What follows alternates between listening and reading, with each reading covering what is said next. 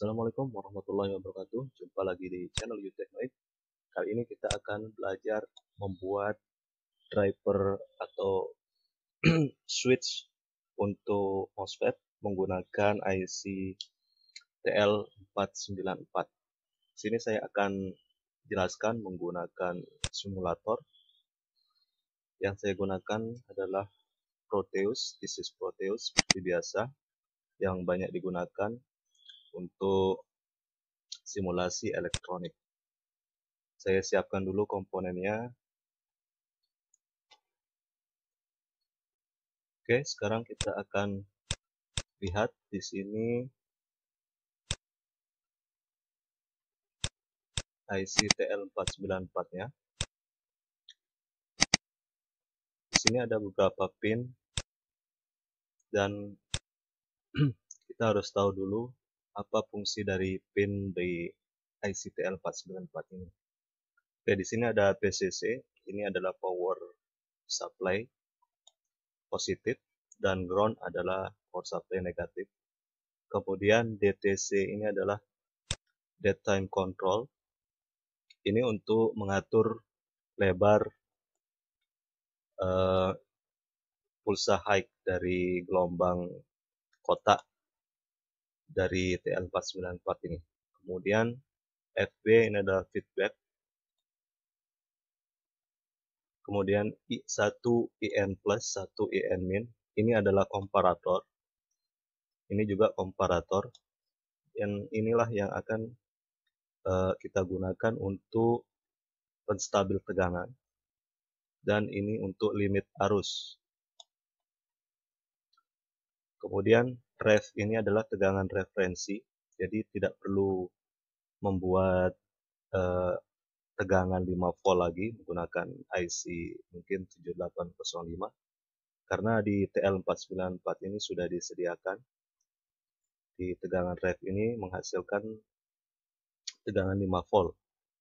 Kemudian uh, OCT, OCTRL ini ini untuk memilih output. Jadi kita mau outputnya di sini ada output C dan E. C ini sebenarnya CE ini adalah uh, transistor. Di dalamnya ada adalah transistor. E ini adalah emitor dan C ini adalah kolektor. Nanti kita bisa membuat outputnya non-inverting atau inverting.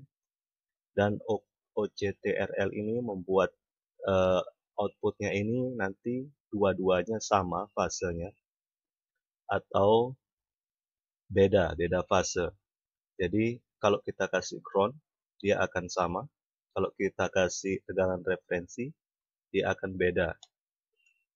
Jadi ini bisa kita gunakan untuk membuat power supply dengan topologi push-pull dan half bridge. Kemudian CT ini untuk menaruh uh, kapasitor R, RT ini untuk menaruh resistor ini untuk penghasil frekuensinya untuk mengatur frekuensinya. Oke sekarang kita coba praktikkan aja kita susun.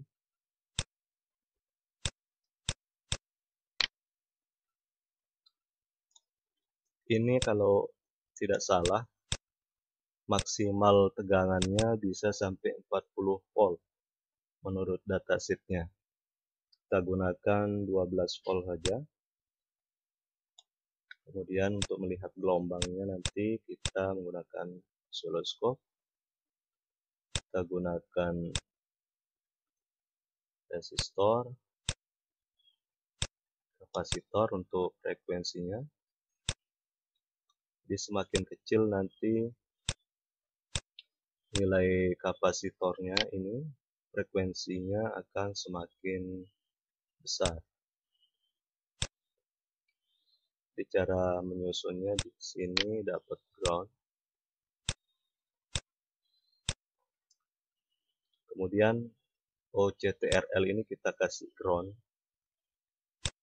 untuk uh, membuat outputnya sama di C1 dan C2 atau E1 E2 kemudian time control ini kita kasih dengan potensiometer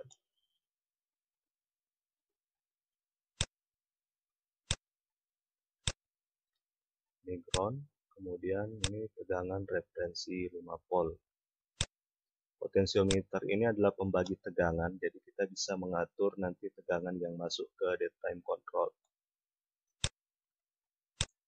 kita akan lihat tegangan time controlnya berapa minimal dan maksimal untuk menghasilkan gelombang output nah untuk outputnya ini kalau kita menggunakan output E atau emitor maka kita akan kasih resistor di emitornya kemudian DC-nya langsung terhubung ke power supply plus.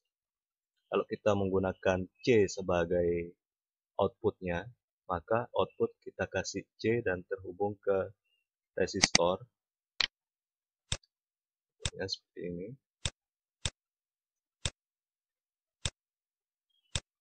Dan E-nya ini kita langsung hubungkan ke ground.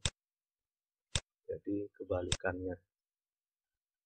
Oke, kita akan lihat outputnya di sini dua-duanya.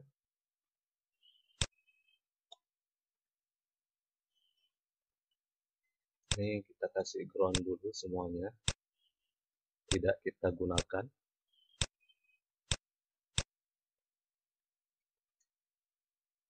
Oke, sekarang kita lihat.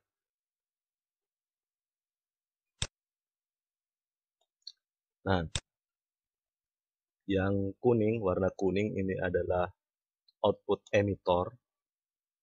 Dan yang C, yang warna biru, itu adalah output kolektor. Jadi bentuknya akan seperti ini nanti. Kalau kita membuat power supply dengan topologi uh, half bridge, bentuk gelombangnya akan seperti ini. Jadi saling melengkapi.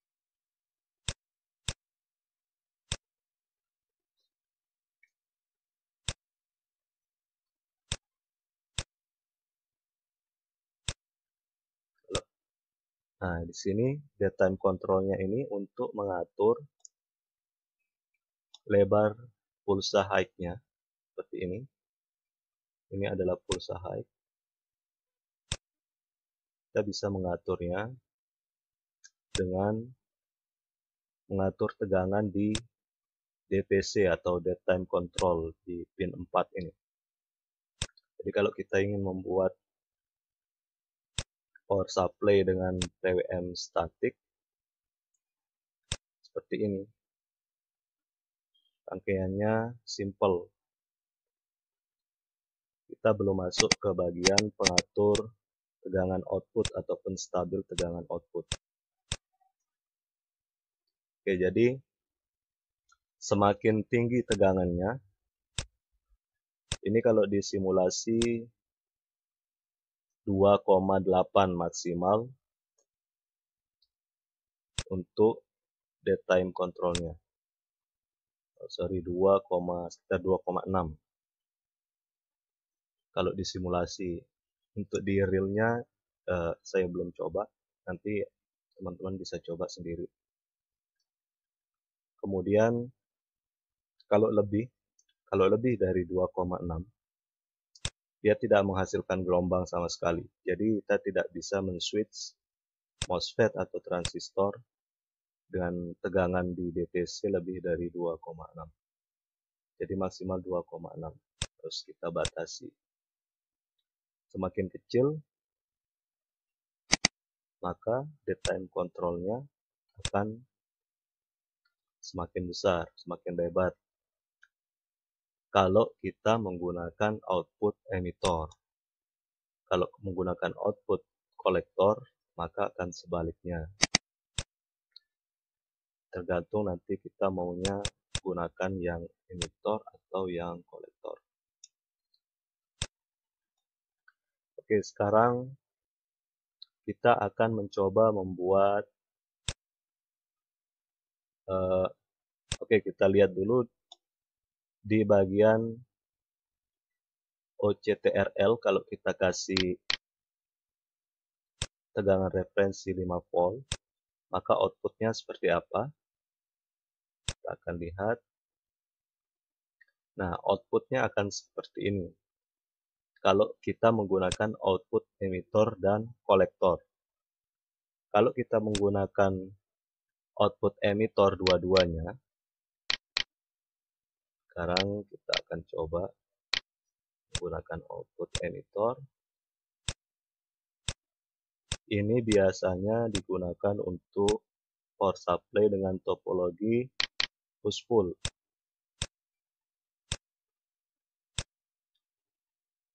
Yang menggunakan trafo CT. Nah, seperti ini. Ini adalah bentuk gelombangnya selang-seling. Seperti ini. Kita bisa mengatur dati cycle-nya juga melalui